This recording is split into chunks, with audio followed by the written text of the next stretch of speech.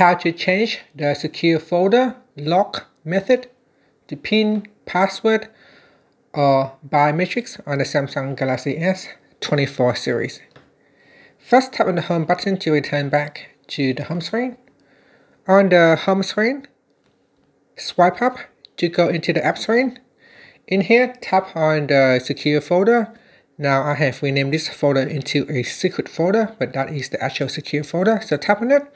Once you have opened up the secure folder, tap on the more button, then tap on settings. Next, in the secure folder settings, tap on lock type. In here, you need to put in your current PIN or password or a pattern lock, then tap on continued. Next, you now you will have the chance to change your secure folder uh, lock uh, method. So you can choose PIN, password, or pattern. If you find a pattern lock is much easier to use, you can select pattern. Then we can draw the pattern tap on continued, then draw a pattern, then tap on confirm. So that is the um, pattern lock method. You can change it to password or PIN. Now down here is the biometrics section. In here you can choose to turn on fingerprints or switch it off.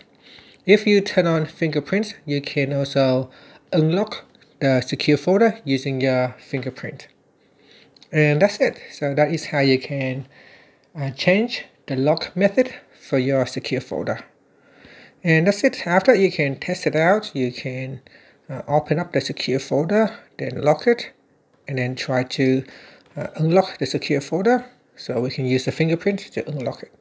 Or we can use the pattern unlock to unlock it with a pattern. And that's it. Thank you for watching this video. Please like and subscribe to my channel for more videos.